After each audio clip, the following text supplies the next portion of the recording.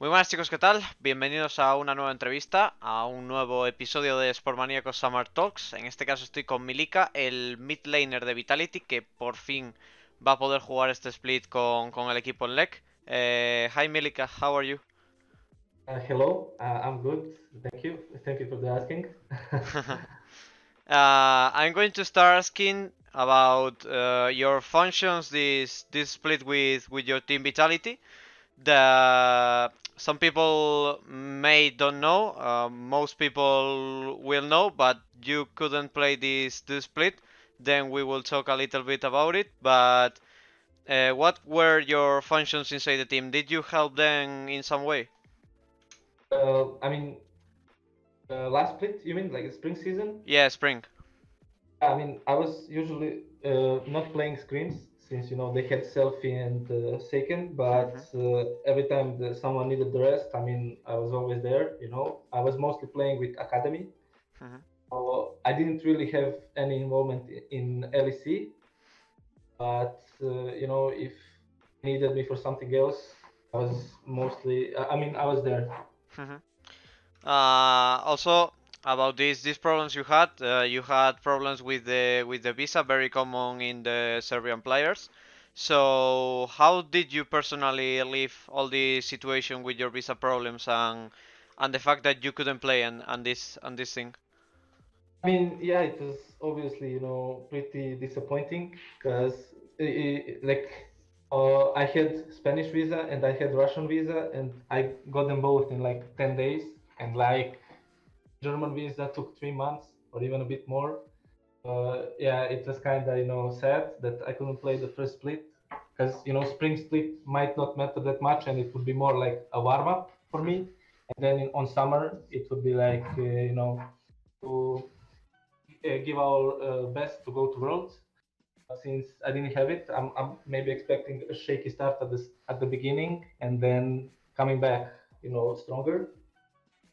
Yeah, it, it was pretty, you know, bad. And you know, basically, I was just home playing solo queue since uh, I couldn't come to Germany. And yeah, Mhm.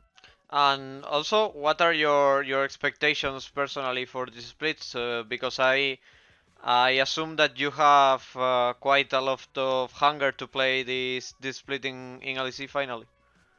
Yeah, yeah, of course. I mean, we started streaming like five or six days ago, so you know we are we are still building that synergy. But um, what what I can remember before, when we were practicing for Spring Split, it's going uh, much better. Mhm. So I, I- I think you know, of course, uh, si- since EU has top four slots for Worlds, I think you, I I can hope for that. But you know, it's gonna be pretty tough. Hmm. Uh, also, your team, uh, Vitality, didn't had the best result this this spring split because all the problems and, and stuff. So, why do you think this this summer will be different? I mean, it's just you know the when when people play with two different mid laners and then supports also swap sometimes. It's uh, really hard to get used to it. I, I think when you when you have an LEC team, you need to build it over time, and uh, if you don't have like a constant on on, players, I, I think you can't really like uh, improve if you keep changing players a lot. So I, I think that was the main issue that mo- most of the players like were swapping, and then yeah, I think now we, we, we know what we are on. Like we know who we play with, and uh, we know how to, how to basically build up the, the team synergy and everything. Uh, also, you you told me that you play some scrims and and training already. So I want to ask you about uh, the new team members that that uh, your team announced recently, uh, which are NG and, Lavrov. So you already played with them, and I want to know your your thoughts about these two players. Yeah, I mean, NG, I think he really vocal. I, I think that he, he really talks the most, and he is the one who has those creative ideas, and that's I think what he may might have lacked in the spring. And uh, Lavrov is like more of a, a mechanical guy, you know. He's he's always there, you know, but he doesn't talk much. But he he, he when he talks, he, he knows what, what he's doing, you know. So I, I think he's more on a, a mechanical side, while NG is like a, a team leader. Uh, also, that the last year you were pl you played in uh, regional leagues in in Giants, uh, EU Masters and also SLO.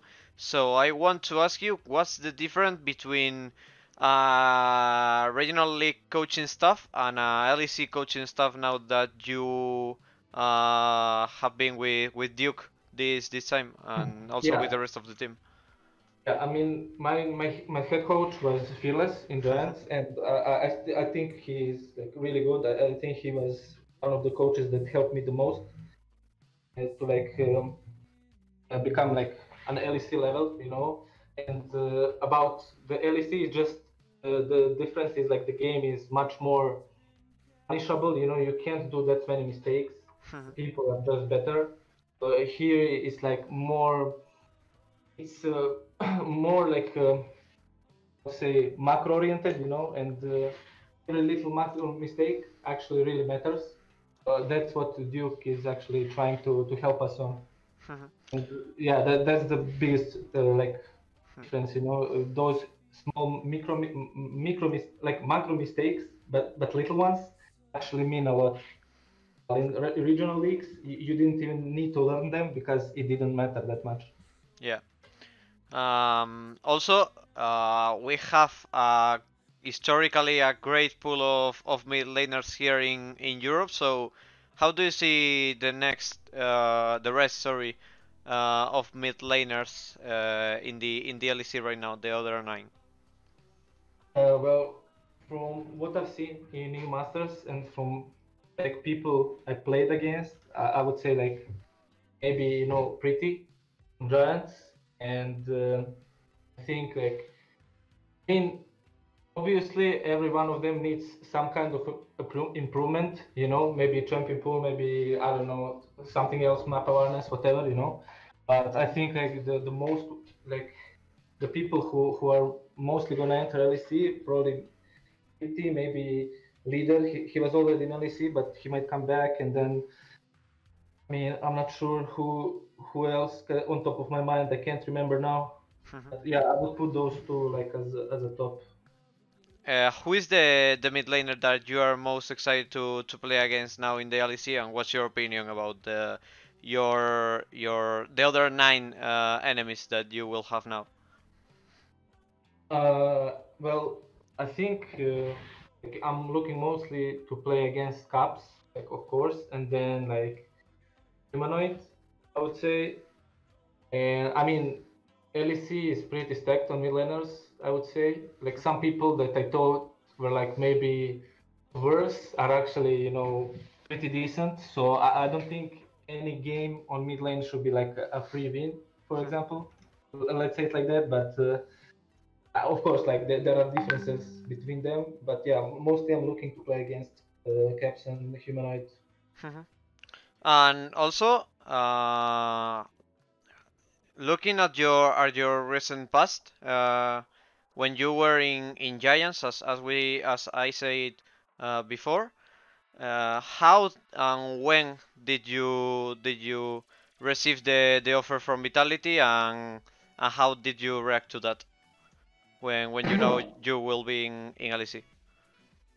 I mean, I actually didn't. I mean, I didn't like fully expect it. Expect it. I, I, I knew I had the chance, you know, but I, I didn't really expect it for like 100%. You know, Mhm. it was uh, I think after uh, EU Masters, like uh, near the Iberian Cup, you know, in, in Spain.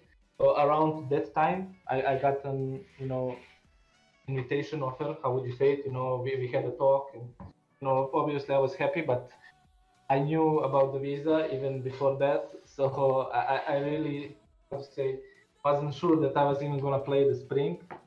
But yeah, I mean, of course, like uh, it's uh, really meant a lot to me. And also talking about uh, a little more about about also your past. Uh, what do you think that are your main strengths of uh, as a, as a player uh, from from the earlier of your career now to to LEC? Yeah, uh, I mean, I would say I was always a, a, really good laner, and I would always get something from it. But the usual thing was I, I didn't know how to transfer it, transfer it to, to the map, you know, and that's what I think that's what I think I learned the most in Giants, you know. And now, of course, like since I'm in LEC, uh, it's mostly like those little things on on macro game that are really important that uh, I have to learn. I mean, I am learning, you know, hmm. but usually like the I would say the lane and like for communicating when when I can do something with, with the prior I have or whatever is happening at the moment in my lane.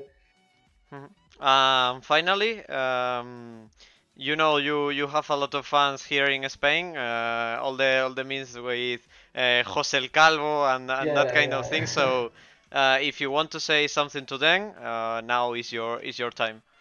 Okay, I mean, of course, like like this this might sound funny, but like since you, I mean, like uh, I've been one year in Giants, you know, hmm. when I'm mad or something, I, I, I like my brain automatically, you know, curses in Spanish. I don't know why. like I, it, it, just uh, stayed with me. But yeah, I mean, I, I want to thank like all, all the all the fans that uh, that are still supporting me, you know, and uh, that were supporting me in Giants also, and uh, yeah, I mean, I hope you you watch me in LEC. Hopefully, I do good, and I, I think I will. But you know, everything can happen, and uh, yeah, if, sometimes if, if you can after the corona, come to come to you know like studio or something. and yeah, thank you. Uh, okay, so so by my side, this is this is everything. Uh, thank you so much, and good luck in in LEC. Uh, yeah, thank you. Bye. Okay, thank you. See you guys.